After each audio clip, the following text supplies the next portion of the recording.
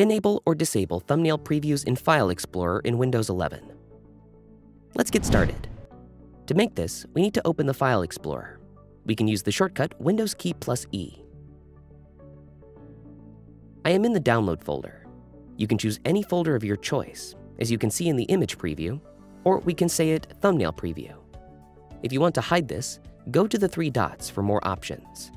Here you see the options. Click on it. The pop-up window will appear. And here, click on the View section. On the top under Files and Folders, you see the option Always Show Icons, Never Thumbnail. To apply the setting, check this section and click on Apply. As you can see, now it's showing the icon instead of the image preview. If you uncheck this section, you see the thumbnail preview. I hope you learned a little more about Windows 11. Thanks for watching.